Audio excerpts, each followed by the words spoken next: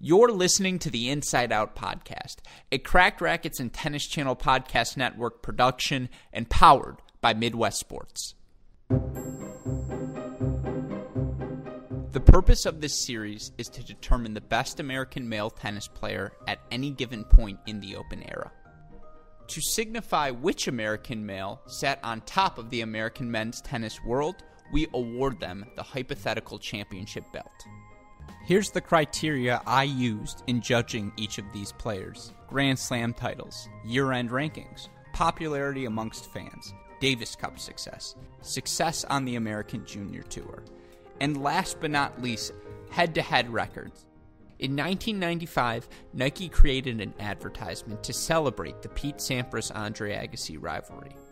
In what is still one of the strangest television commercials I have ever seen, the two American men race around New York City in a taxi, stopping to create a tennis court and to play a match in the streets.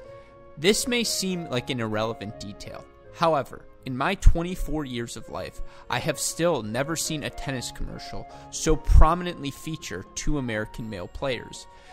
The commercial's existence speaks to the extent to which the Pete Sampras Andre Agassi rivalry transcended not only American tennis, but American sports culture as well.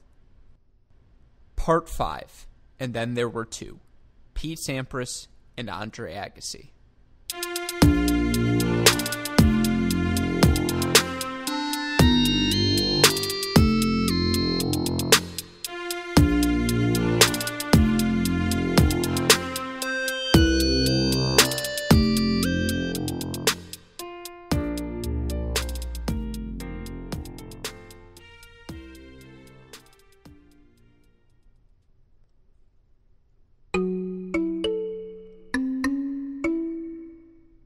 Sampras, Agassi, Courier, and Chang combined to win 27 of the 56 Grand Slam singles events held between Chang's 1989 French Open title and Agassi's 2003 Australian Open title.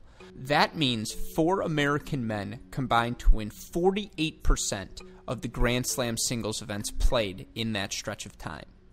Additionally, one of these four players won two or more single slams in six separate seasons during the 1990s. That feat remains unmatched by any other generation of American men.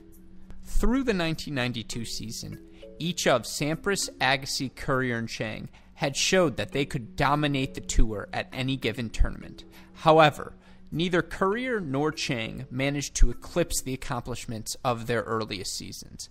Thankfully, Given the rise of Sampras and Agassi, their respective declines did little to diminish the standing of American tennis.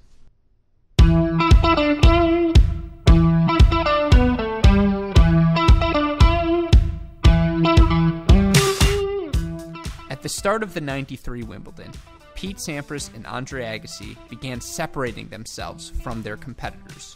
The two combined to win 20 of the next 39 men's singles slams. Polar opposites in both game style and personality, their rivalry filled a void in tennis left open since the days of McEnroe vs. Connors. The two were undisputably the best players in men's tennis. As such, the quality of their play treated American fans to a level of tennis that they had never seen before, and one that has not been achieved by any American man since.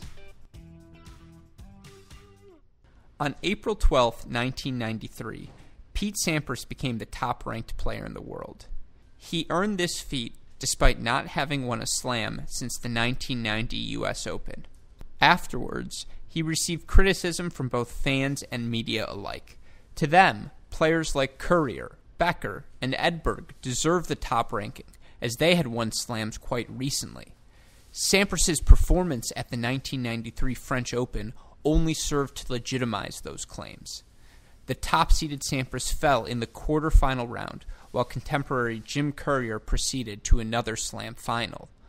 The criticism continued to mount through the grass court summer and reached its peak as Wimbledon began. Here, however, Sampras's narrative began its turn. Only the fourth time in 46 years, an All American final. In 93, Pete walked onto the Wimbledon grass with a new attitude. He was pitted against Courier in the final.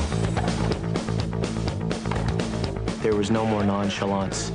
He was very much all business. Pete conquered Wimbledon. And here's the champion, Pete Sampras. One must wonder how many more times might we see this scene. At the 1993 Wimbledon, Sampras dispatched Agassi, Becker, and Courier to capture his second Grand Slam title. He quickly followed that up with a dominant performance at the U.S. Open, dropping only two sets en route to his third ever Grand Slam victory. He made it three in a row with his 94 Australian Open title, and after falling in the French Open quarters, he made it four out of five by defending his crown at Wimbledon. It's worth looking at just how exceptional Pete Sampras was from 1993 to 1997. Over the course of those five seasons, Sampras averaged a record of 71 and 13 in tour level events. Playing about 19 events per season, Sampras won an average of 8 events and reached a total of 9.4 finals per season over that stretch of time. That translates to him winning 40% of the events he plays and reaching the final in almost half of them. He won nine major titles, reached an additional major final in 20 slams, and won eight Masters title in 33 events. He also finished the 94, 96, 97 seasons as the year end champion and ended every season during the stretch ranked number one. Sampras's 1994 season particularly stands out as one of the greatest in the sport's history. In 18 events, he reached 12 finals, won 10 titles, including crowns at the Australian Open and Wimbledon, took home the year end championships, and went a total of 77 and 12 to end the year ranked as the number one player. Sampras's biggest blemish of the year came at the US Open, where he was upset in the fourth round. Surprisingly, that was not the biggest storyline coming out of the event. Instead, everyone was talking about how one player became the first unseeded men's singles champion in the tournament's history. That player, of course, was Andre Agassi.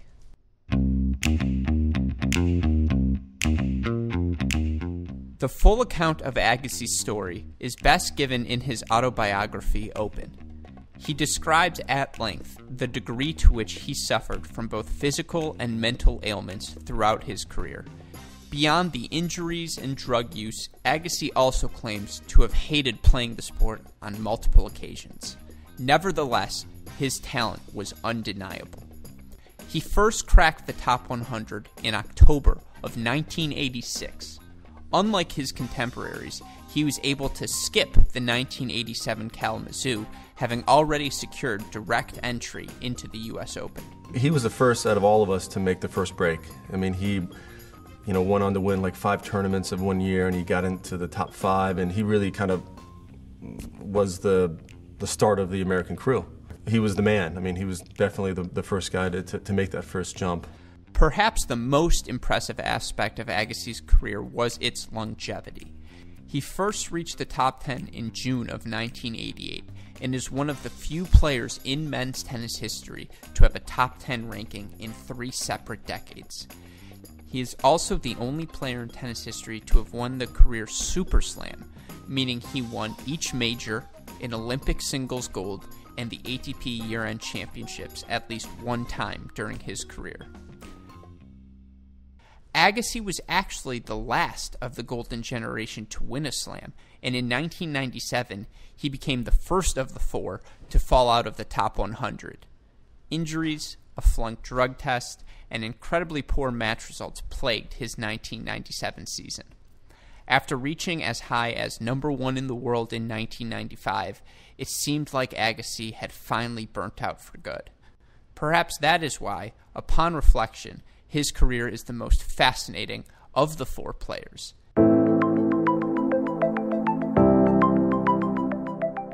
Agassi made four straight slam finals between the 99 and 2000 seasons and won five more slams between 1999 and 2003. He finished his career with eight major titles in all, and was ranked number one in the world as late as August 2003. In 2006, he sailed off into the sunset, becoming the last of the golden generation to retire from the tour. Over the last 21 years, I have found you, and I will take you and the memory of you with me for the rest of my life. Thank you. And there's no doubt that the flamboyant personality Agassi displayed on the court has helped him achieve all of the success in his post tennis career. The next chapter of Andre's story uh, needed to be written, and that was one of somebody who, who took his caring and, and put it into action. And, and you could walk through those doors now. That, that particular passion and dream actually has a lock and key. You open it up, walk in there, you see the school, the classrooms, and, and, it's, and there it is. His charity, the Andre Agassi Charitable Foundation in Southern Nevada, has raised over 60 million for at-risk children. In 2001, the foundation opened the Andre Agassi College Preparatory Academy in Vegas, a K 12 public charter school for at-risk children. He also dated Barbra Streisand and Brooke Shields before settling down and marrying fellow tennis star Steffi Graf in 2001. Starting with a five set Sampras victory in the 93 Wimbledon quarterfinals, results from the Agassi Sampras rivalry defined the storylines on the ATP Tour. The guys won seven of the eight majors from Wimbledon 93 to Australia 95. They flip flopped between the number one and two spots in the rankings on multiple occasions and played in 16 finals against one another during their respective careers. It's also worth examining just how dominant the two were against their fellow American contemporaries. Sampras carried a winning record against every American he faced during this era, going 16 and 4 against Jim Courier, 12 and 8 against Michael Chang, 18 and 4 against Todd Martin, 7 and 0 against Mal Washington, 8 and 0 against David Wheaton, six and two against Richey Reneberg, and four and one against young upcomer Vincent Spadea. Outside of his head-to-heads with Sampras and Courier, Agassi went 15 and 7 against Chang, 13 and 5 against Martin, 6 and 2 against Washington, 6 and 3 against Wheaton, 9 and 0 against Reneberg, 4 and 2 against Vincent Spadea, and 5 and 1 against Andy Roddick.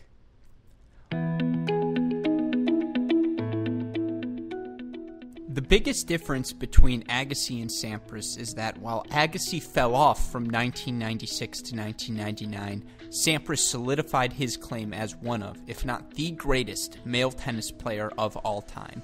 He won seven of eight Wimbledons from 93 to 2000 and ended the millennium with the most Grand Slam titles of any man in the Open era. Agassi deserves mountains of credit for his late career resurgence, and that resurgence is certainly enough to get him in the best male tennis player of all time conversation. However, by the end of his career, Pete Sampras' place in tennis history was already secured. No result better epitomizes Sampras' edge over Agassi than the final match of their career, which took place during the 2002 US Open men's singles final. Despite coming into the event as the lower seeded player, Sampras knocked off seeds Greg Rusedski, Tommy Haas, Andy Roddick, and Sjeng Schalken before meeting up with the six seeded Agassi. Over the course of his four set victory, Sampras' serve and volley tactics and relentless aggression under pressure got him over the edge against Agassi one last time and secured his final Grand Slam victory. He's there. He's champion for the fifth time here in New York. And he's made monkeys out of most of us. It should come as no surprise that Sampras carried a 20 and 14 career head-to-head edge over Agassi, which includes a 4 and 1 record in Slam finals. By the time Sampras defeated Agassi in that US Open final, the duo's narrative was already written. Despite all of Agassi's charisma and talent, both on and off the court, Sampras was, and may still be, the king of American men's tennis.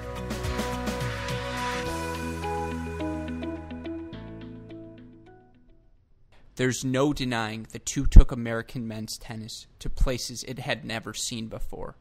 Their rivalry defined a generation of American men's tennis, a generation that was the best our country has ever seen.